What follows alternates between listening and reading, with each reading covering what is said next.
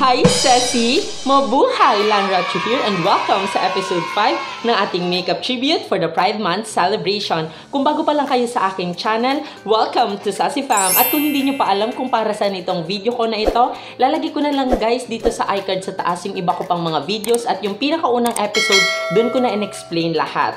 So ngayon, may bago na naman tayong gagawin at syempre nakita nyo na sa thumbnail na avatar ang gagawin ko. So, a little backstory lang kung bakit Avatar yung napili ko. Kasi, way back in high school, fourth year high school kami, nagkaroon kami ng presentation ng Avatar. Hindi lang po um, kalahati ng klase. Dahil buong klase kami, naging Avatar. At hindi lang po makeup ang ginawa sa amin. Dahil buong katawan. As in body paint and face paint ang ginawa sa amin na pangmalakasan. Lahat kaming buong klase kasama sa performance na yon at hindi lang guys kami nagrampa, kundi nagkaroon rin kami ng performance. So, shout out doon sa mga nag-face paint sa amin and body paint, si Kuya Jeric Plopino and si Kuya Paul Silo. Hi mga kuya, thank you so much sa pag-paint nun sa amin. And hindi ko pa pala napapakita yung picture guys. Ito yung picture nung pag-avatar namin. Pasensya na yan lang yung may papakita ko sa inyo kasi yan lang yung na-save ko at nakalap kong picture during those time. Wala rin kasi akong pang-picture nung time na yon at wala rin masyadong nag-document kasi ang daming kaganapan nung time na yon umulan ng bonggang-bongga kahit naka-face paint kami at gabi yung performance. So at least nagkaroon kami ng selfies at may naitago pa naman kahit papano. And shout out din pala doon sa nag-choreo sa amin. Hi Kuya Den! Ayan siya guys, ang napakalakas na choreographer. Excited na akong i-recreate yung aming avatar na makeup look. So without further ado, let's get on to the video. Mwah!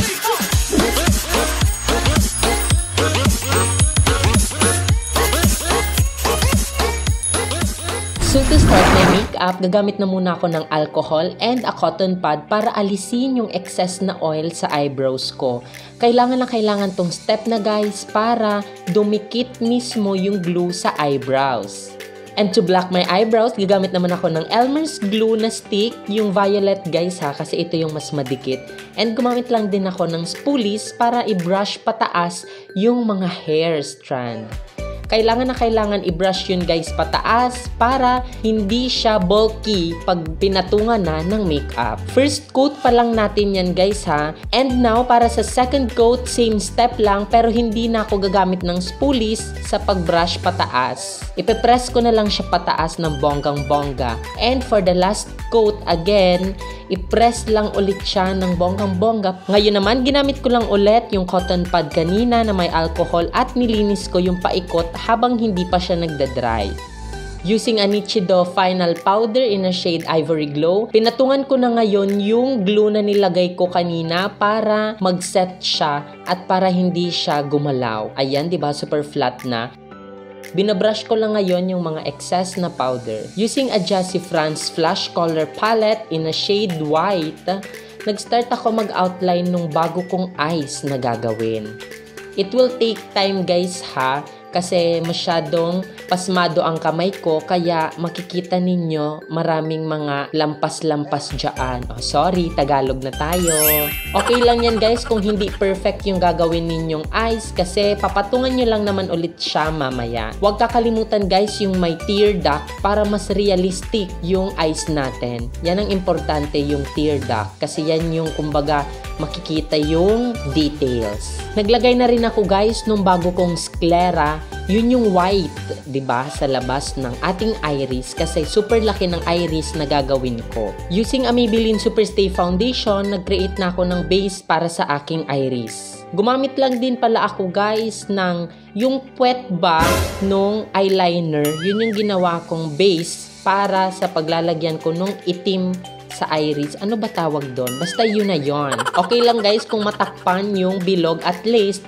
meron kayong paggagayahan mamaya yung bilog sa iris. Using a damp sponge naman, blend ko na siya ng bonggang-bongga para hindi siya mag-crease. Nag-start na ako guys mag-eyeshadow doon sa bago nating iris at for that gumamit lang ako ng yellow na shade doon sa primary paint palette ng Snowy Beauty. Nag-start ako doon sa outer part and then blend ko siya papasok sa bago nating iris. Using an orange eyeshadow naman, nag-start na ako guys mag-create ng shadow nung bago nating iris. Nilagay ko lang siya doon sa outer line.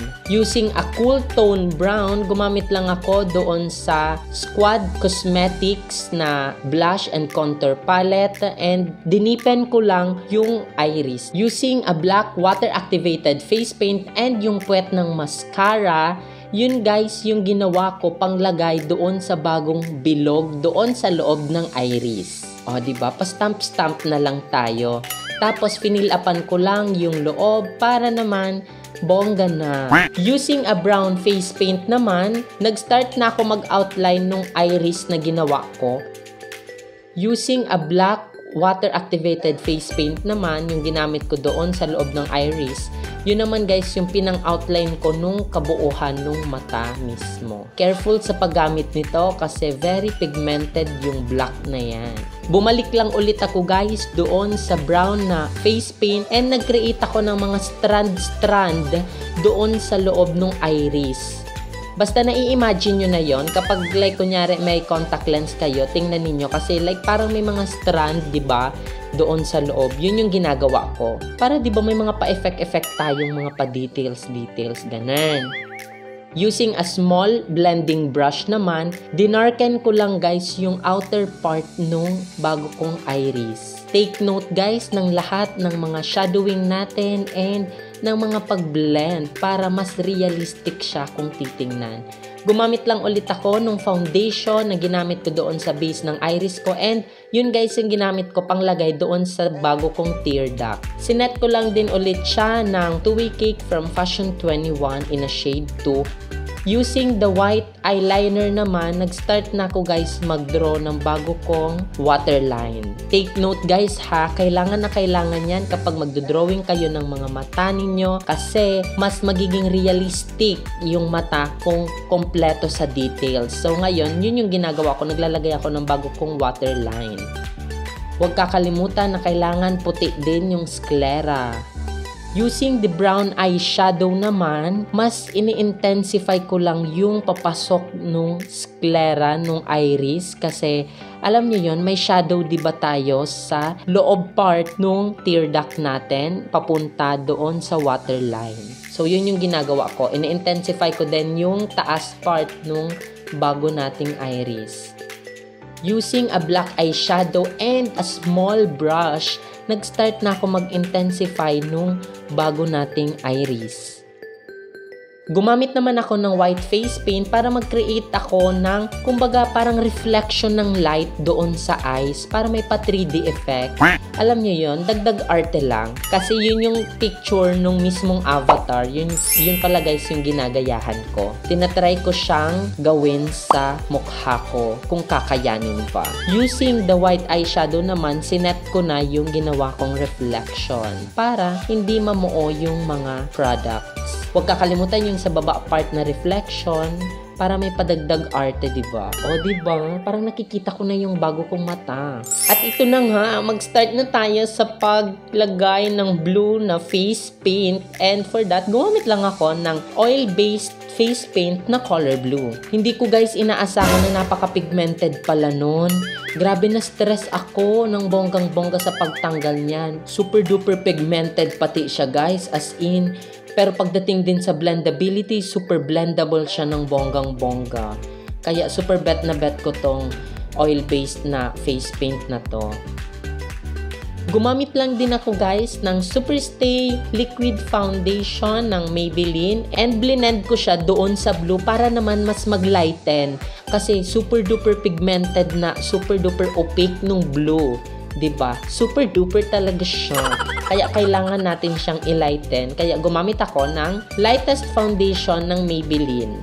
Yung paglalagyan natin ng light na blue is syempre yung baba ng eyes and then sa may noo. Kumbaga yan naman yung mga bago nating high points. Using a damp sponge naman, blend ko na siya all together. Good luck sa damp sponge sa paghugas niya, no? Kung makikita nyo guys, di ba, very blendable siya as in kaya bet na bet ko. Nilagyan ko rin yung tenga ko para naman mas ma-feel natin itong makeup, no? Syempre, wag kakalimutan yung noo papunta doon sa buhok, o, di ba? Sakripisyo ka, girl. Hinataw ng bonggang-bongga sa face paint. Huwag niya munang lalagyan yung lips ninyo. Kasi mamaya lalagyan lang naman siya ng bagong lips. Dinerecho ko na rin sa liig ko. Para naman sa picture lahat color blue ano. Pahirapan na lang mamaya sa pagtanggal. Good luck! At syempre, para nga mas bonggang-bongga itong ating makeup, nilagyan ko rin pati loob ng tenga ko. Super duper hirap magtanggal niyan guys, as in. Halos dumugo yung tenga ko sa kakalinis. Pero para sa inyo, tsaka para mas maganda ang kinalabasan ng makeup, nilagyan ko talaga ng bonggang-bongga.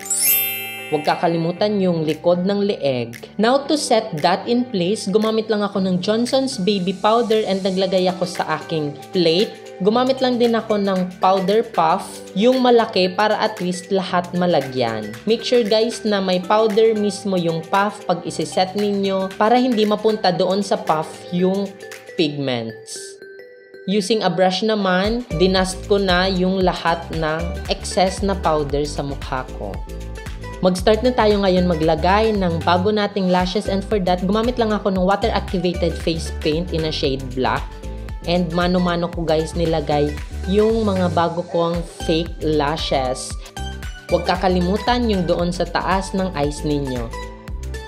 Ngayon naman, using a black eyeshadow, nag-start ako guys gumawa ng bago kong crease. Huwag masyadong ipasok yung bagong crease kasi hindi na avatar ang kakalabasan yan. Baka maging drag queen tayo. Nag-start lang din ako guys mag-intensify doon sa taas nung bago nating mata. And nag-continue lang ulit ako sa paglagay ng lashes gawin nating dramatic kaya kailangan makapal-kapal yung lashes na kakalabasan. Again, using a black eyeshadow, nag-start naman ako guys maglagay ng kilay ko. Careful sa paglagay ng kilay kasi baka maging drag queen yung kinalabasan. Kailangan mas intense doon sa tails and then i-blend ninyo papasok para naman magkaroon ng gradient yung eyebrows ninyo. Since super duper pigmented nga yung color blue na ginawa natin, ngayon naman gagamit ako guys ng 2 Cake ng Fashion 21 in a shade 1 para yun yung mag serve as highlights ng face nila. And importante yung doon sa may ilong, kailangan magmukha siyang very flat na angat ng very light. Kumbaga, super lapad ng ilong nakakalabasan dapat. Huwag kakalimutan din yung doon sa may cheeks part na mas ipalighten siya. Kung makikita ninyo yellowish ng very light, okay lang yan kasi mamaya ah, idadust naman natin siya. Huwag rin kakalimutan yung doon sa may chin and yung sa taas ng lips ba. Huwag din kakalimutan yung sa baba ng contour and yung sa leeg hanggang sa katawan 'Di ba may mga pa zebra lines effect doon? Huwag 'yun kakalimutan, guys, ha. Ngayon naman, mag-create na tayo ng mga pa-lines-lines kineme. And for that, gagamit lang ako ng blue na eyeshadow doon sa Primary Paint Palette. Nag-start ako sa noo ko, papunta sa katawan. It will take time guys ha, kaya bear with me. Magiging maganda naman ang kinalabasan, I believe. Yun din guys yung ginamit ko pang contour doon sa bago kong ilong na super lapad at rap na. Alam nyo ba yon? On, ano? Ano tabi? Yellow? Ay, ay da pa man po yellow, di pa man po matigas. Nag-cross kaya kagabi. Ha? Balik na sa natabi, amo. Ames. Chares! Huwag kakalimutan yung contour sa may cheeks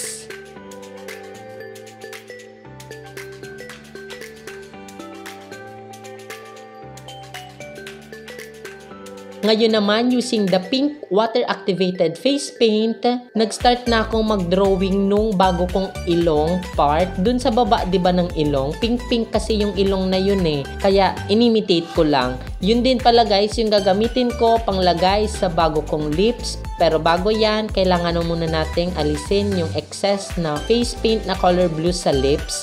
And for that, gumamit lang ako ng wipes. At ayan nga, mag-start na tayo maglagay ng bago nating lips. Sana all pink lips. Using a black face paint naman, nag-start na ako mag-outline nung ilong na ginawa ko. Using a white eyeshadow, nag-highlights lang ako nung ilong ko. Ganon din doon sa taas nung noo ko. Basta yung like parang pa-diamond style or pa-oblong style doon sa noo ko. Yun lang yung nilagay ko. Ngayon naman, using a diamond highlighter from BYS, Hinighlights ko lang din ulit yung doon sa may ilong ko and then doon sa may noo ko. Using a black eyeshadow, nag-start ako guys mag-outline ng bago kong lips. Ang pag-outline is papasok and then palabas. Make sure to blend it well then and wag masyado ma-overpower katulad sa nangyari sa akin na overpower. So, kailangan ko ulit siya patungan nung pink na water-activated face paint. Blend ko na lang siya using my finger licking good. Clover ka girl. At ito na nga, dito na tayo guys sa fun part. Using a white face paint, nag-start ako guys maglagay ng mga dot na mga white, yung mga dot dot kineme. Ayun. Favorite ko tong part na to kasi very satisfying siya. So panoorin nyo na muna yung buong part ng paglagay ko ng white na face paint. Nagsimula ako sa noo, papunta sa my cheeks, and huwag kakalimutan yung katawan. Ay, daman po kami Rubitos in liquid. Ompo. Yes, di pa man po kayo nakasal. Chares! So, tatapusin ko lang itong aking look and magbabalik ako in 5, 4, 3, 2, 1. Bye, guys!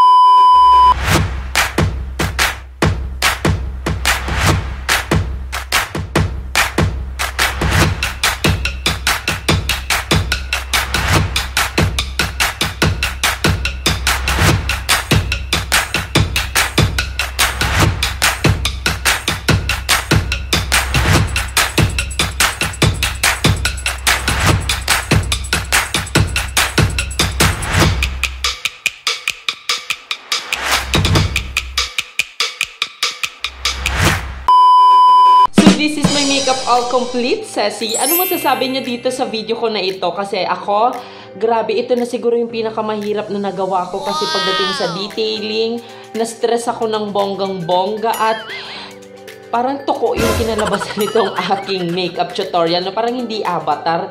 Parang na sobrang sa laki ng mata yung ginawa kong eyes, no? At Girl, good luck mamaya sa pagtanggal niyan. Napakahirap niyan tanggalin. Pero para sa inyo, ginawa ko talaga ito para at least makita nyo kung paano nga ba maging avatar ang isang sassy sis. So, shout out dyan ano sa mga kaklase ko nung 4th year high school ako, yung 4 Archimedes. Hello sa inyo! Sana nabigyan ko ng hustisya yung ginawa kong makeup ngayon, no? Sana natuwa kayo, ano? Comment down below kung napanood nyo man itong video na ito. So, dito na magtatapos ang ating video. Abangan nyo naman ang mga susunod ko pang mga videos. Sana nagustuhan nyo itong video na ito at sana may natutunan kayo. And kung meron man, don't forget to like and i-share nyo na itong video na ito sa mga friends ninyo. Ipakita na si Sassy Sass ay naging avatar. Chares! So again, thank you, thank you all so much guys for watching. Kung hindi pa kayo nakasubscribe sa aking channel, huwag kalimutan na i-click ang subscribe button and ring that bell beside her para at least updated ka sa lahat ng bago kong videos. So again, kung hindi pa kayo nakafollow sa aking social media accounts, let's be friends, Sassy! Again, thank you, thank you all so much guys for watching. See you in my next video. Bye, Sassy! Bye! Oops! Hindi pa dyan nagtatapos ang video. Ayun o. Oh. Pindutin nyo yun.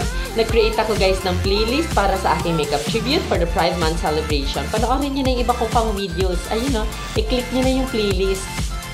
Thank you guys. Bye guys. Bye.